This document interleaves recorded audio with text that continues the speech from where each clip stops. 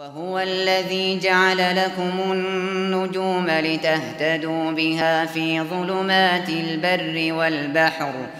قد فصلنا الآيات لقوم يعلمون. وهو الذي أنشأكم من نفس واحدة فمستقر فمستقر ومستودع. قد فصلنا الآيات لقوم يفقهون. بسم الله الرحمن الرحيم. الحمد لله رب العالمين والصلاة والسلام على رسول الله وعلى آله وصحبه أجمعين. وبعد السلام عليكم ورحمة الله وبركاته. أي أمام سؤال بركة وعندك كلهم دكما سورارم وعليدي ونلو كتي muna yi Allah subhanahu wa ta'ala godiya da yake haɗa mu a cikin waɗannan darussan da muke dangane da lamuran da suka shafi ibada ko muke sanin ibada a cikin sauƙi.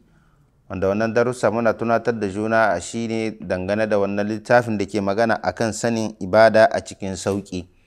Wanda alhamdulillah mun yi maganganu akan wasu nau'uka daga cikin ibada na tsalki da kuma sallah da kuma zakka wanda muna cikin azumi kusan ƙarshe-ƙarshen matsalolin da muke magana a kai shine watan azumi.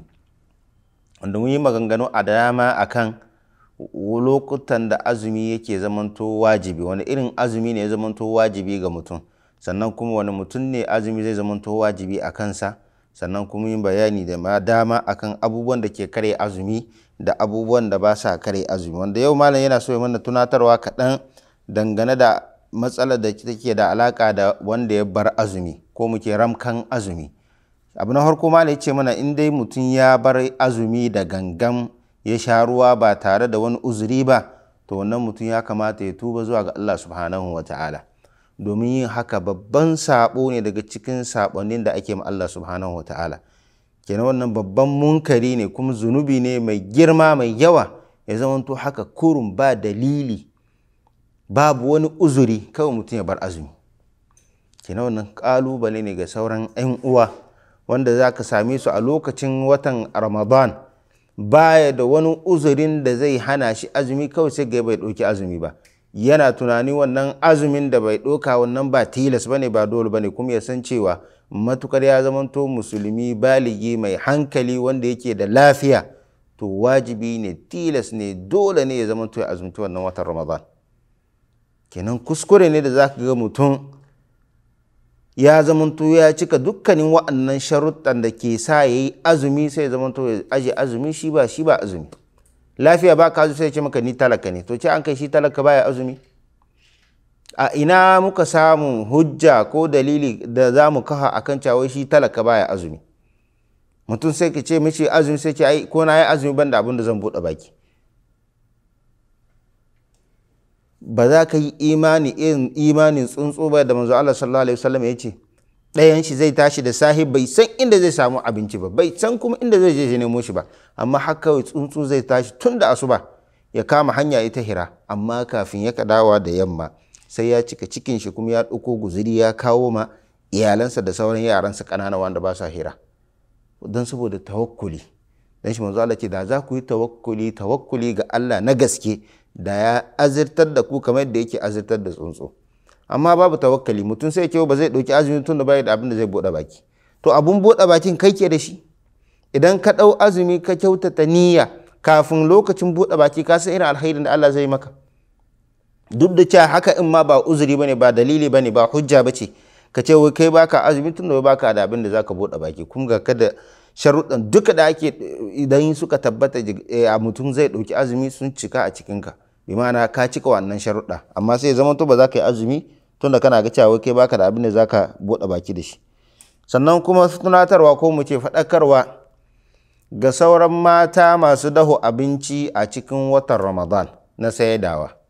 A lokacin azumi ko mu ce lokacin da mutane suna cikin yanayi na ɗaukar azumi kafin shan ruwa. So da haka su ma wannan bayan Allah su ji tsoron Allah su san cewa sun taimaka akan saba ma Allah. Allah subhanahu wa ta'ala yake ce wa ta'awanu alal birri wat taqwa wa la ta'awanu alal ithmi wal udwan. Ku taimaka ma juna dangane da dukkanin wani abin da ya zamanto na yi ma Allah subhanahu ta'ala da'a ne ba sabon Allah ba ne amma kar ku taimaka ma juna akan saba ma Allah ko wani abin da ya zamanto sabanin shari'a da ya umarni. Saboda haka ke da ke dafa abinci ga watan Ramadan kina ba mutanen da suke ci ba sa azumi ba tare da wani hujja ba. Ki san kina da kamisho naki babba na saba ma Allah da na zunubi wanda kike ɗaukawa.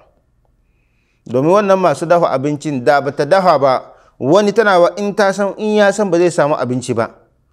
In ya san duk inda ya buga ba zai samu inda zai samu abinci ba. Da ba zai ɗauki ba zai aje wannan azumin ba. Amma ya san hajiya wance ko mai tuwo wance ko mai sai da kaza na wance ai tana sai da abinci. Saboda haka sai ga ya aje azumi. Ita kuma tana ɗauka cewa ai damanta ce wannan lokaci. Damanta ne wannan lokaci saboda mi duk babu wanda ke sai da abinci wannan lokaci sai ita. Saboda haka za ta dafa buhun shinkafa biyar ko goma duka za a sai a cinye. Tana ga tana tara arziki. To ki san cewa wannan sabon Allah subhanahu wataala ne. Domin dalilin wannan abincin suke suke zamanto suka aje azumi ba sa ɗauka kenan ya kamata mu tsoron Allah subhanahu wataala dan shi malai ce aje azumi ba tare da wani uzuri ba. Yace babban zunubi ne babban saba ma Allah subhanahu wataala wanda ya zamanto wajibi ne ga wanda ya yi haka ya tuba zuwa ga Allah subhanahu wataala sannan kuma ya yawaita istighfari. Domin ba ƙaramin laihi ne yayi ba. Ba ƙaramin laihi ne zamanto ka aje azumi ba tare da wani uzuri ba. Saboda haka bayan haka kuma ka tuba zuwa ga Allah subhanahu wataala kuma ka yawaita istighfari sannan ka ramka wannan kwanakin ko muke wannan inin da baka ɗau azumi ba dole ne wajibi ne ka ramka shi. Sannan ramkon ma da za ka yi za ka ramka shi ne a gaggauce. Ba wai sai ka samu dama wa lokacin da ya maka a'a kana ana ƙari azumin ramadan. Farkon zaman da za ka samu za ka ramka wannan azumi. Tun da dama aje wanda ka yi baka da wani uzurin da ka aje. Kenan wannan shi ke nuna mana cewa duk wanda ya aje azumi ba tare da wani uzuri duk da cewa wasu maluma sun ce a'a ba dole sai ya ramka shi a gaggauce duk lokacin da ya ga dama. Amma mafi yawancin maluma sun ta kan cewa zai ramka wannan azumi a gaggauce. Tun da dama ya aje shi ne ba tare da yin uzuri ba tare da wani uzuri ba. Saɓani wanda ya aje azumi da uzuri. Wanda za mu zo mu bayani a kansa. Amma ma ce idan mutum ya aje azumi don saboda uzuri kamar mace ce al'ada ta zo mata ko ta aihu ko mutum ne wanda baya da lafiya rashin lafiyan da ke iya hana shi ɗaukan azumi ko mutum yana cikin tafiya da sauransu wanda suka zamanto uzurruka ne wanda suka halitta idan suka samu mutum ya aje azumi. Malai ce to wannan ya wajibi ne akan shi ya ramka wannan kwanukan da ya aje amma ba a gaggauce ba. Duk lokacin da ya samu dama a ce kafin wannan ramadan na biyu ya zo ya same shi ya zamanto ya ramka wannan kwanuka. Kenan bambanci tsakanin shi da wanda ya aje azumi ba tare da uzuri. Wanda ya aje azumi ba tare da uzuri an kace nan da nan a gaggauce zai ramka wannan azumi. Harkon daman da zai samu wanda ya hita cikin wata ramadan a wannan lokaci ya zama to wajibi a kansa ya ramka wannan azumi. Amma idan ya zama to yana da uzuri wannan ba dole ba sai ya ramka shi a gaggauce. Duk lokacin da ya samu dama kamar yadda malai mana bayani a nan. Haka kuma malai ce mana an fi so amma mutum ya gaggauta wannan ramka wannan azumi. An fi so wannan azumi ka gaggauta ramka wannan azumi. Duk da cewa an san cewa me ba wai wajibi ne ka gaggauta amma an fi so don saboda mutum ya sauke nauyin da ke kan shi. Domin wannan shine ya fi soyuwa zuwa ga Allah subhanahu wataala ya zamanto abin da aka ɗora ma yi iya ƙoƙarin ka wurin sauke wannan nauyin. Domin baka sani la Allah wani abu zai zo wanda zai iya jinkirta ka ba tare da ka so haka ba.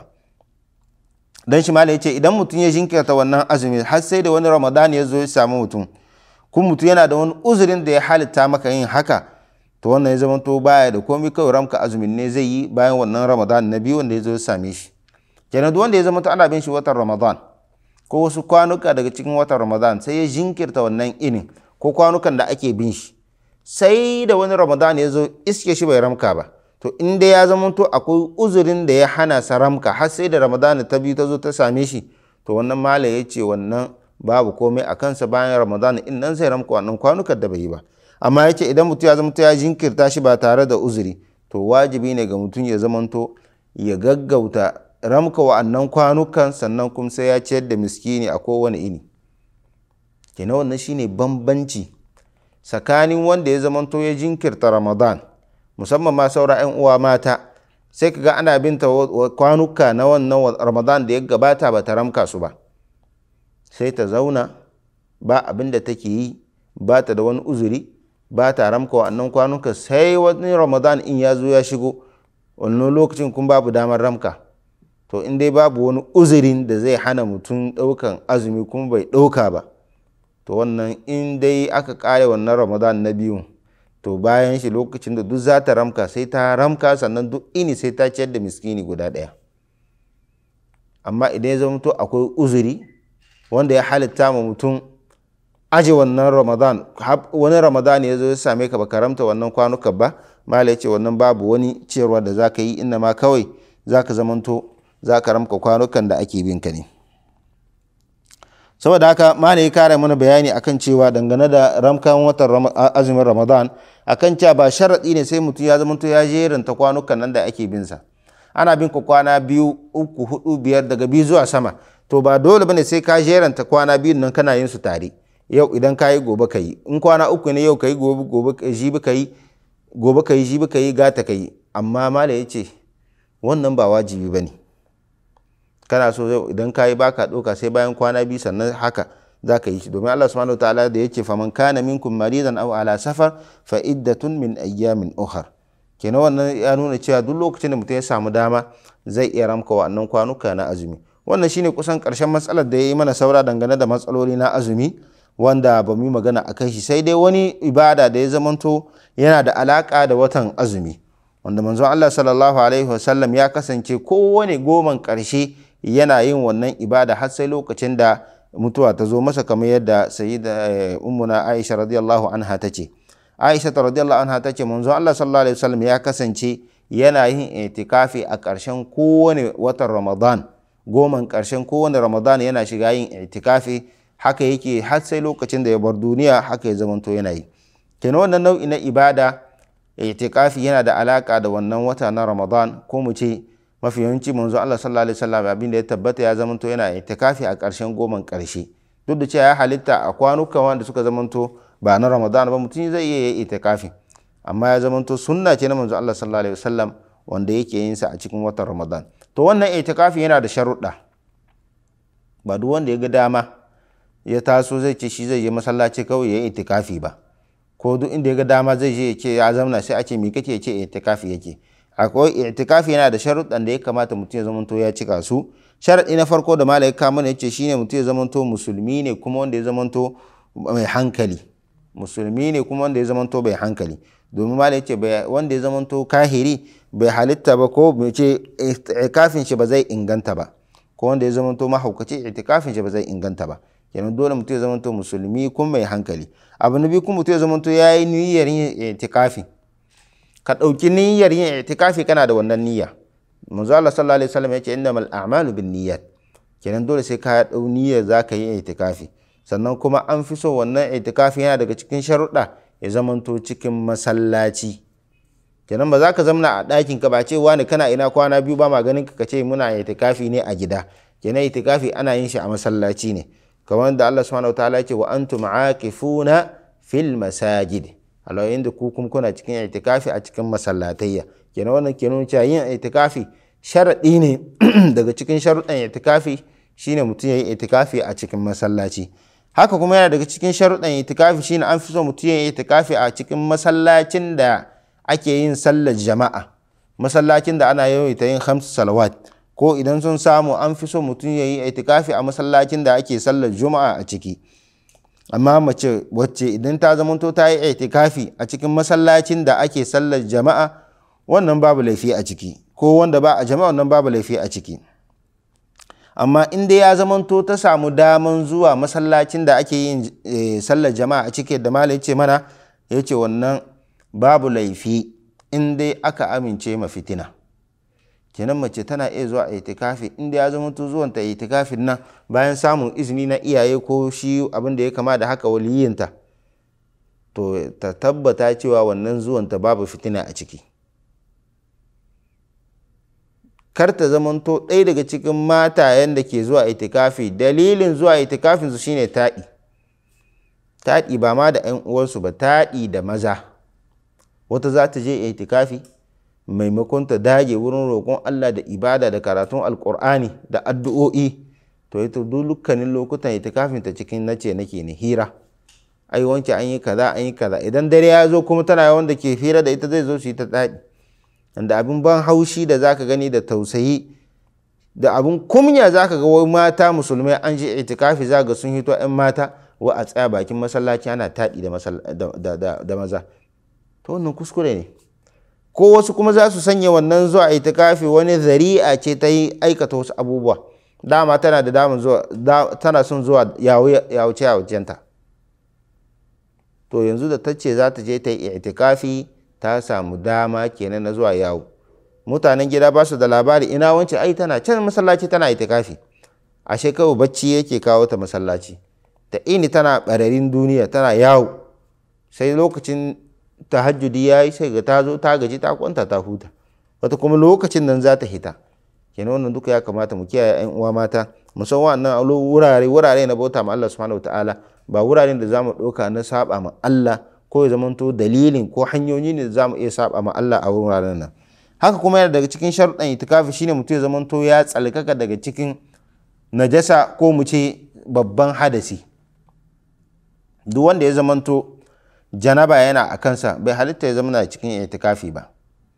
Ya ce yana da janaba ya ce ni zan je itikafi dole sai ya yi wanka. Haka mace idan tana cikin jinin al'adanta ko jinin bikinta don saboda wa'anda suke da wa'annan larurori wa'anda ke wajabta wanka to bai halitta ba su zamna a cikin masallaci a cikin wannan yanayin da suke.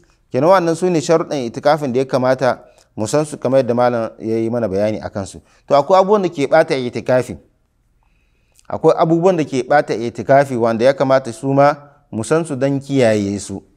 Don duk lokacin da kace za ka yi itikafi bayan ka cika wannan sharuɗa ka zamanto musulmi mai hankali sannan kuma ka yi itikafi a cikin masallacin da ake sallar jama'a sannan kuma ko ka zaɓi masallaci wanda ya zamanto ana sallar juma'a a ciki sannan kuma ka zamanto wanda ya zamanto baya da ɗaya daga cikin abubuwan da suka iya wajauta wanka baka da janaba ko baki da haida ko jinin biki. To lalle idan kika cika wannan sharuɗa to wannan ya zama to in kina so ki itikafi ya halitta ki. To akwai abubuwan da ke bata itikafi shine malai ce mana abu na farko shine fita daga masallaci ba tare da buƙata ba. Kana itikafin ka a masallaci. Babu wani buƙata yau ba ta gobe kawai shi kenan kawai ko da yaushe ka gan shi shine wurin mai wancan tebur shine mai wurin wannan shagon. Shine mai wurin wannan mai shayi shine babu wani uzurin da yake da shi. Kawai yawo yake ta yi baya da damun zama. To fita a cikin wurin da kake itikafi ba tare da uzuri ba to wannan yana ɗaya daga cikin abubuwan da ke bata itikafin mutum. Haka ma da ya ce mana kuma yana daga cikin abubuwan da ke bata itikafi shine saduwa da iyali. Tawa wannan saduwan ya zama to da dare ne ko yaushe ne in dai mutum ya sadu da iyalansa yana cikin itikafi wannan yana bata itikafin mutum. Domin Allah subhanahu wa ta'ala yake ce wala tuwashiruhunna wa antum akifuna fil masajid. Kar ku kusanci mata ko ku sadu da mata a lokacin da kuke cikin yanayi na itikafi. Saboda haka mala ya ce mana daga cikin abubuwan da ke bata itikafi kuma akwai gushewar hankali. Idan hankalin mutum ya gushe to itikafinsa ya ɓaci. Hankalinsa ya gushe dalilin mi dalilin hauka ko dalilin ya sha wani abu wanda ya sanya shi maye ba tare da sani ba? Ko ya zamanto mutum ya zamanto ya haukace to wannan duka mala ya ce suna bata itikafi inda mutum ya zama yana cikin yanayi na itikafi. Daga cikin abubuwan da ke bata itikafi malai ce mana akwai shine jinin al'ada ko jinin biki. Domin bai halitta ga wanda yake da jinin al'ada ko take da jinin biki bai halitta ta zamna a masallaci ba. Kenan da wannan jinin ya zo mata to ya zama to itikafin ta ya ɓaci sai ta koma gida ta zamna sai lokacin da za ta tsarkaka daga wannan jinin in kuma lokaci bai ƙare tana yi ta dawo ta ci gaba da itikafin ta. Daga cikin abubuwan da ke bata itikafi malai ce mana shine mutum ya ridda. Fita daga cikin musulunci shi ma wannan yana bata itikafin mutum. Mutum ne yana cikin itikafi sai ya hita cikin musulunci to malai ce wannan yana bata itikafin mutum. A taƙaice wannan abubuwan da suka shafi watan ramadan da kuma abin da ya shafi itikafin da ake a ƙarshen watan ramadan. To a ƙarshen azumi ko mu ce sallah to akwai wani ibada da ake yi kuma wanda ya kamata mu tunatar da juna a kan shi don sanin wasu kaɗan daga cikin hukumce-hukumcensu. Shine ibadan hidda zakkan kono zakatul fitr da ake fidda ko mu ce zakkan konon da ake fidda musan cewa wajibi ne a cikin watan ramadan. Tana wajabta ne a watan ramadan. Sannan wajibi ne akan kowane musulmi kowane musulmi ya kamata ya fidda wannan zakan kono sai dai wani irin musulmi akwai musulmin da ya cika wasu sharɗoɗi. Wa'annan sharuɗa da ka cika su kana musulmi to da ka saman matsayinka musulmi ka zan zakan kono ya wajaba a kanka. To sai dai sharuɗan da ke sa su ƙara tabbatuwa na wajaba a kanka ka cika wa'annan sharuɗa ko baka cika wa'annan sharuɗa to wannan ne za mu karanta don mu ji wanne ne daga cikin musulmai wanda Allah subhanahu ta'ala ya wajabta masa hidda wannan nau'i na zakkan kono abu na harko dai mu sani cewa zakkan kono farilla ne wanda manzo Allah sallallahu alaihi wasallam ya yi mana bayaninsa kuma ya ce sadaqatul fitr min ramadan sa'an min tamr. Farada rasulullah sallallahu alaihi wasallam kamar yadda ibn umar yake cewa manzo Allah sallallahu alaihi wasallam ya farlanta ya wajabta fidda zakkan kono daga watan ramadan sa'i guda na dabino ko sa'i guda na alkama ko sa'i guda na alkama ga duk wanda ya zamanto bawa ne ko ɗa namiji ko mace babba ko yaro daga cikin musulmai.